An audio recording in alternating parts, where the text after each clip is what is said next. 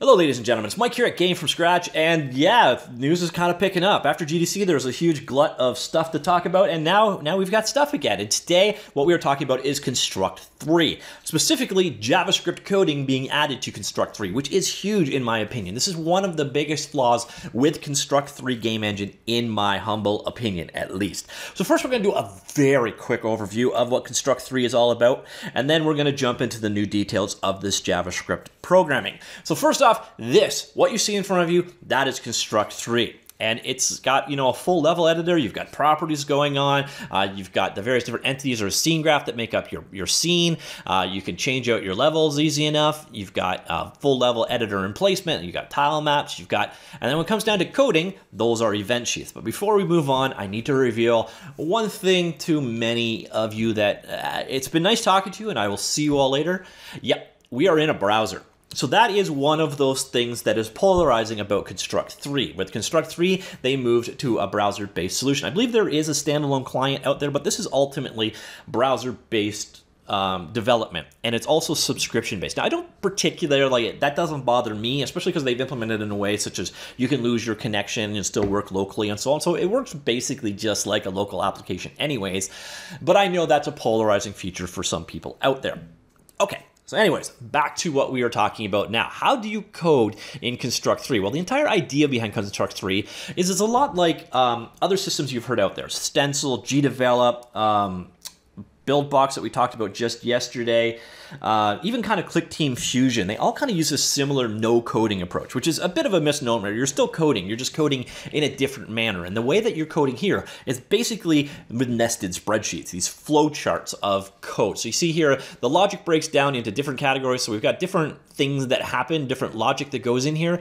And then you're responding to events with actions. And that's basically how you can think of it. An event happens, such as keyboard, Z key is down, and then we can have some conditionals and we can add actions. And if you've got, okay, I'm getting out of there, so I'm in a free edition right now. If you don't like the actions that are provided or you don't like the events that are provided, you're kind of screwed. At that point in time, you either need to create an add on of your own, which is kind of a pain in the butt, or you hope that um, Scirra, Scirra, Scirra, Scirra. I've never actually said it out loud. You hope that they add the functionality that you ultimately want added, and that's kind of not ideal. So that's where today's big change comes in. So what has been announced on their blog, Scirra. All right, I'll get over that. I got to learn how to pronounce things better. Um, so First off, they push out that they know that not coding is kind of one of their marquee sales features, and that kind of does make sense. Construct 3 is all about not having to code, uh, or Construct 2 was at least, and then um, if you needed those extensions, you waited on or hoped on the community to create those add-ons for you. But they've seen, and they've documented four reasons why they think that coding is important here. First off, uh, many indie developers and hobbyists are using this, and then when they get to the at the, the level that it's not doing stuff for them anymore, they move on to a different game engine. And I get this one. This is uh, Construct 3 in some ways has a very short runway. So if you move beyond the capabilities, if you come into game development as a coder and you're kind of getting in your banging up against the walls of the functionality that Construct 3 provides, this is the point in time where you move on to a Unity or a Godot or like a full programming game engine. And they want to kind of change that. Now, second, is this being used to teach by, apparently Construct is being used in classrooms. Um, they want to have it so that they can teach JavaScript in those classrooms, so there's a win there as well. Um, you get into professional business users sometimes want to integrate their code in with Construct, and this will give them another opportunity to do so. And finally, people are doing it already anyways, but in a hackish or third-party add-on kind of system. So this is basically taking the third-party hack kind of scenario out of the situation and making it a bit more official. Next up, we get into a category about why they chose JavaScript. And this one, I, I think I can just gloss over. You're a JavaScript-powered game engine, so you chose JavaScript. Makes 100% sense to me. And then they're kind of singing the merit to JavaScript, the popularity of JavaScript, whatever. I think you guys basically already probably have an opinion on JavaScript one way or the other. So I'm just going to gloss over that part right there completely.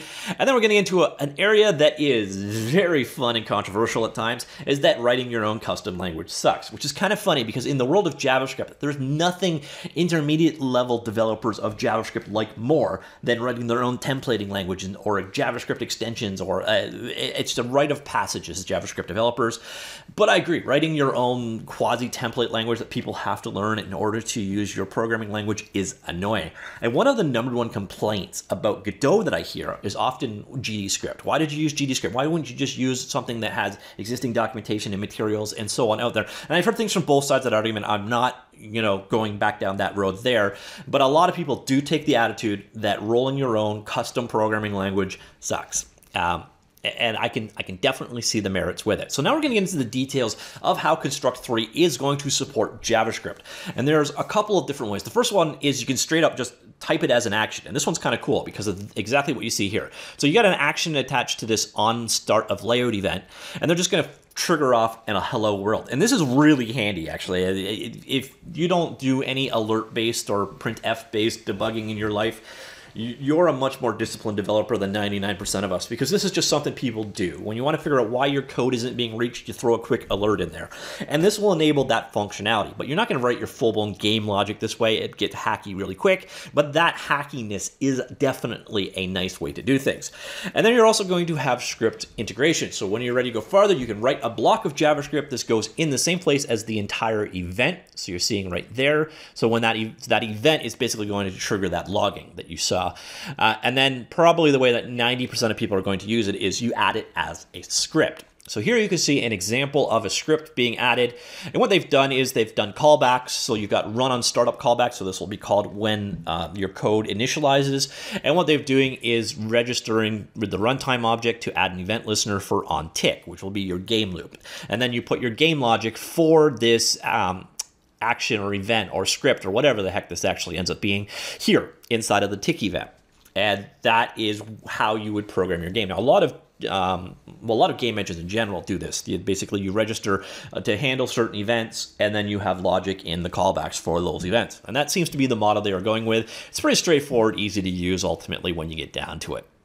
So you can also integrate directly into um, event. So you're seeing here, this untouched sprite event is being passed parameters. So you see, you can write directly in your code. You can say runtime objects.sprite and then iterate through them all and then, you know, modify the code there. So you're getting, it's not just code that runs when an event is fired. It actually integrates with those events, has access to the parameters of those events and so on. So it can be used um, just in theory for anything that you would use add-on system for now.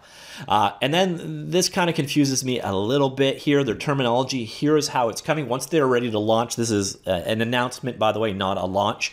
Um, feature will be sold as a separate add-on for Construct. However, anyone who's ever had a Construct 3 subscription of any kind, past or present, will get the add-on for free for life at no additional cost. So if you're a past or a current subscriber, this is free. Uh, currently, this will apply to new subscribers, so in the future, subscribers too as well.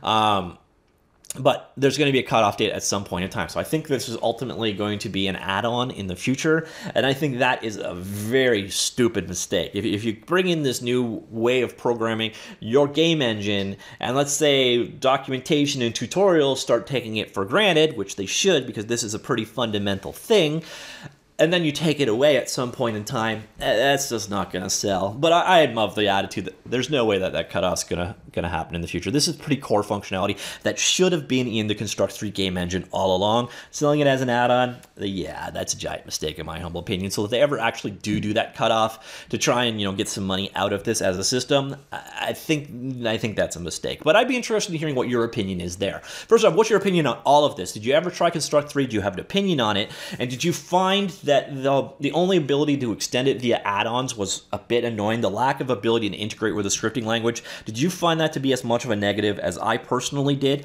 Um, I did find that at least this kind of for a programming perspective, brings it into parity with the likes of Stencyl and GDevelop, which both have this functionality. And it was a glaring missing feature, in my humble opinion, of Construct 3. So I, I definitely think that this is a positive step forward. I do question a bit if the add-on thing, if this is a bit of a mistake or not. Um, but I, am not entirely certain, and I'd love your feedback on that one. So we're looking at an early version of the scripting feature in the next beta release of Construct sometime in the next couple of weeks. If you're already a subscribers, you'll be able to test it as soon as the next beta. Feature will continue to develop and expand over time, and would like to have uh, we'll likely have more news about it in the future. So stay tuned, and we look forward to more comments uh, to to seeing what you can all do with it. And then uh, we've got feedback, and for the most part uh, we've got some pretty happy feedback from most of the users. Like I said, I think this is definitely one of those things that Construct 3 just straight out needs. I, just don't think it's an add-on. I think this is just a core feature that should be just added to the game engine. But I would love to hear your opinions down below. All right, that's it for now. I will talk to you all later. Goodbye.